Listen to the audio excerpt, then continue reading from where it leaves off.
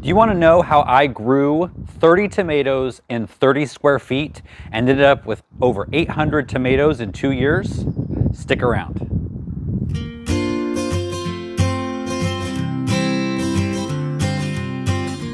So a couple of months ago, I put out a request in our private Facebook group. And if you're not a part of that and you're on Facebook, I'll put a link down below so you can join. Um, I was asking who has built my trellis and if they could share the pictures with me. And I got so many responses and it was so cool to see so many of my trellises standing all over the world. I'm gonna show a bunch more at the very end of the video because there's some ways that um, some exact replicas of my trellis and then some people who actually improved on them. But I realized I have never really gone through step by step how I built my trellis because when I started this channel, I already had the trellis pretty much made. So I kind of alluded to the directions on how it was made, but today I'm gonna walk you through step by step exactly how it works.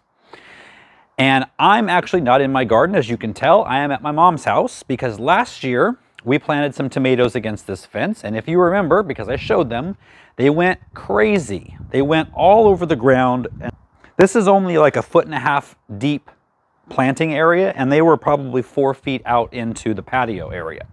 Now with those huge plants, she didn't get a lot of tomatoes. Now I've talked about this, the big video that probably three quarters of you came to this channel because of, uh, it was titled How to Grow Tomatoes Not Leaves. You'd think I'd remember that title, but uh, because that's what most people have, is a bunch of leaves and no tomatoes. Not after I show you how to do this trellis, because this trellis is gonna take your tomatoes off the ground, it's gonna organize everything and give them the ability to produce a ton of tomatoes in a tiny amount of space. Now the materials for this project could not be any simpler. Really, this space, like I said, is about a foot and a half wide, and it's gonna be an eight foot long trellis, which is gonna give us about, um, because we can only plant one row of tomatoes here, it's gonna give us room for eight tomato plants. Now I'm going to also tell you if you have, I have the same trellis and you can just retrofit it slightly and you can do three rows of tomatoes with only a couple dollars more of wood. And I'll show you that in just a second. But the, the materials for both trellises are three, and you can use two by fours. These are one and a half by two, I think. One and a half by two, and they're eight foot long. So I have three of these, one on each side for the uprights, and then one to grow, go across the top. So the first thing I did was, since they're eight feet tall, I wanted them to be about six feet out of the ground. So I buried two feet in a hole on either end and filled it back in. Now, if you're wanting something more permanent, you can put some cement in the hole. That's totally fine. I just put dirt around them. So both of them are in the ground. They're nice and sturdy. And the next two materials that we need other than a drill or a, a screw gun are some screws. These happen to be two and a half inch um, coated deck screws and some eye bolts. I'll show you what these are for in just a minute. All right, so I'm gonna bring Noah in to help me. He's gonna help me hold the wood up at the top while I put the screws in. Hey everyone.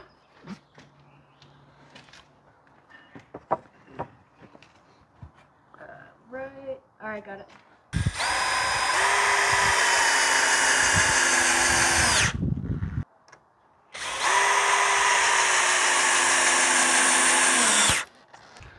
Okay, it's that easy. Yep. Three pieces of wood. Now we're gonna get to the hard part. Ah! So this is for one row of tomatoes. That's all we can fit in a oh, foot and a half space. Now at home, I have three rows of tomatoes. And so every foot along the top, I have uh, a furring strip. Actually, if I had to do it over again, I've seen a lot of you use a one by one, and you're gonna make them about 24 inches long so that you'll have a tomato growing on the end, one in the middle, and then one on the other end. And they'll go straight across. For this one though, we're doing one line. So what you're gonna do is get these the eye hooks, or eye bolts, or eye screws, I don't know what you call them, but we're gonna put one underneath on each end, and then one every foot along the whole length.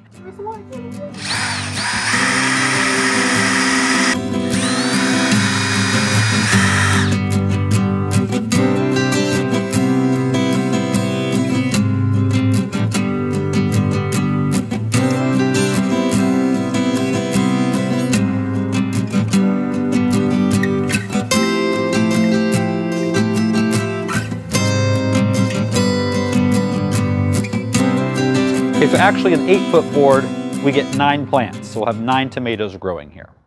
Now again, if you do the cross pieces for two or three rows, you'd put one of these little eye bolts or eye screws on the end of each one of those as well.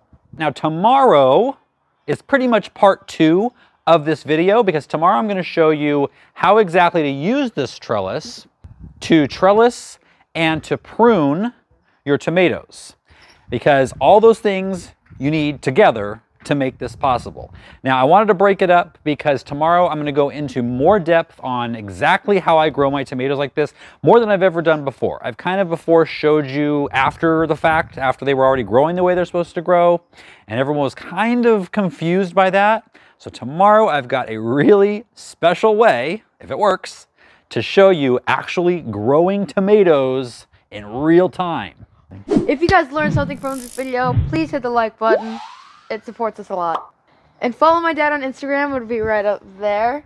And then follow me on Instagram. No, no. Go back. Follow my dad on Instagram, it'll be right up there. And we'll see you next time. Bye.